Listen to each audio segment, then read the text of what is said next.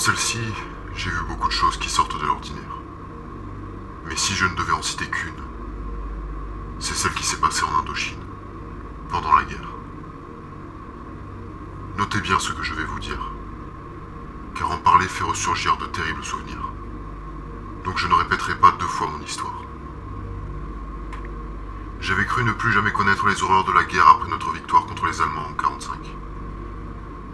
Mais j'ai été appelé pour partir en Indochine française, qui correspond maintenant aux actuels Laos, Vietnam et Cambodge. Le conflit faisait rage là-bas, et la France avait un intérêt à garder cette colonie. Elle a donc envoyé des soldats sur place, même s'ils subissaient encore le contre-coup de la Seconde Guerre mondiale. Et j'étais dans le lot. J'avais un peu d'expérience en tant que soldat. Les précédentes guerres m'avaient forgé un corps robuste et un mental solide. Même si je n'étais pas dupe, cela ne me serait d'aucune utilité face aux balles. Cette expérience, j'essayais d'en faire profiter mes camarades. Et j'en suis assez fier, car ça nous a permis de nous sortir de situations désastreuses plus d'une fois.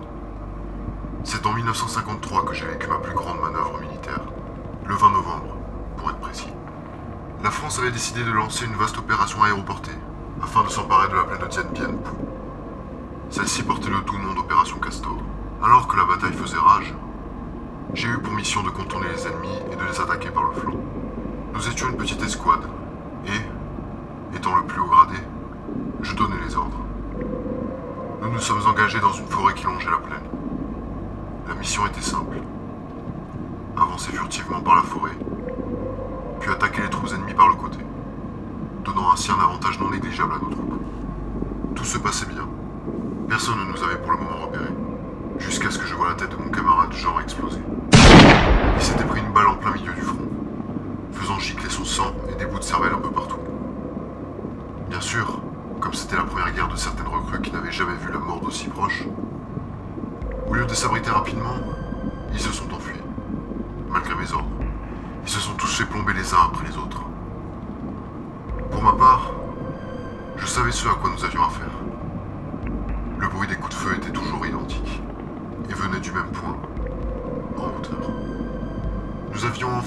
Sniper et un bon, de surcroît.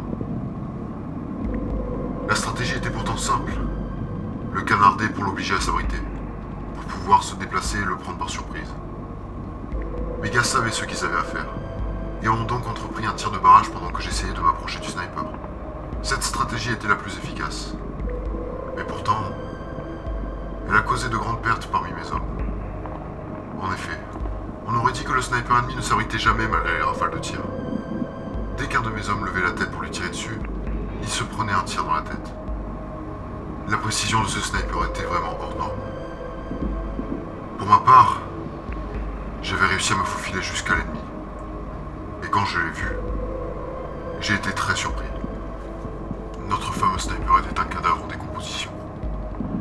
Il n'avait presque plus de peau sur les os. Il était allongé sur le ventre.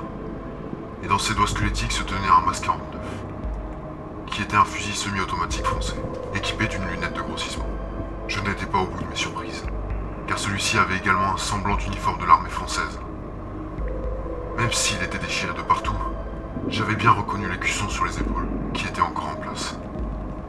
Mais je ne me suis pas trop attardé sur les détails, car je n'étais pas dupe. J'avais déjà vu ça ailleurs. C'était un leurre, un piège.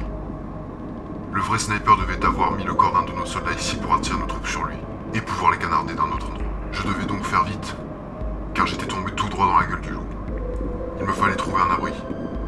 Alors que je me retournais pour me cacher derrière un rocher, j'ai senti une vive douleur au torse. Je m'étais pris une balle dans le dos, qui m'avait traversé le corps. Je me suis retourné, et c'est là que je l'ai vu. Le squelette du soldat français.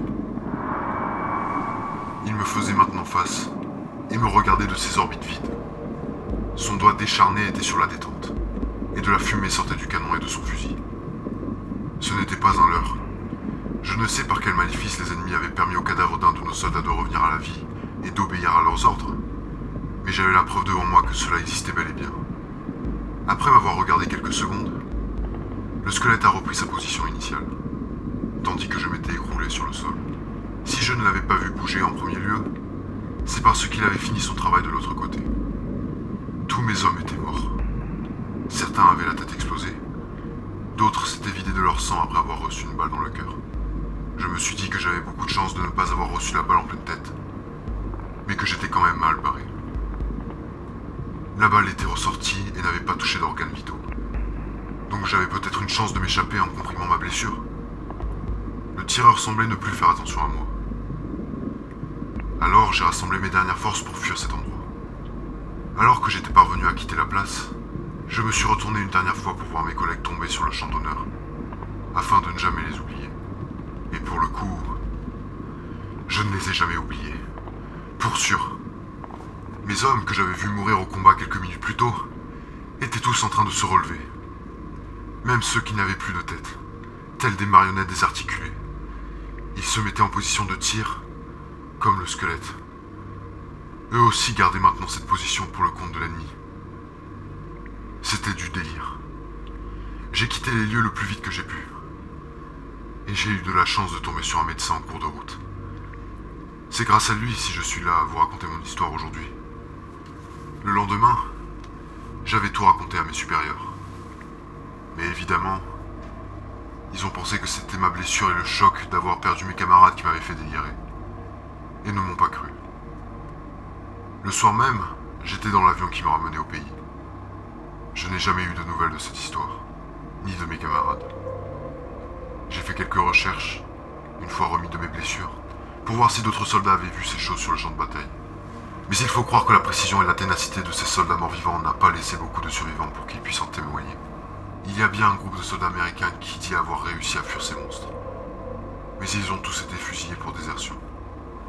Certains prétendent que c'était une ruse de l'ennemi pour semer la peur dans le rang de nos soldats, afin d'affaiblir leur mental pendant les combats. Pour ma part, je pense que les hauts gradés étaient au courant, mais qu'ils ne voulaient surtout pas ébruiter l'histoire pour justement maintenir l'ordre dans les rangs et la motivation des soldats.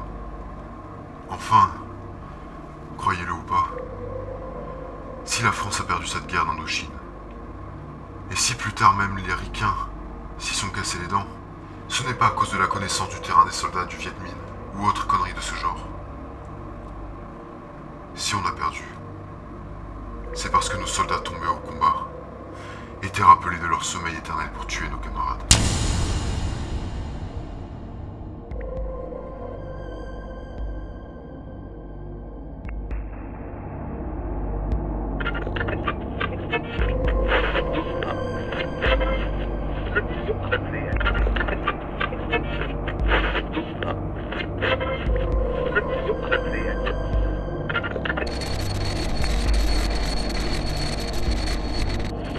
Deputy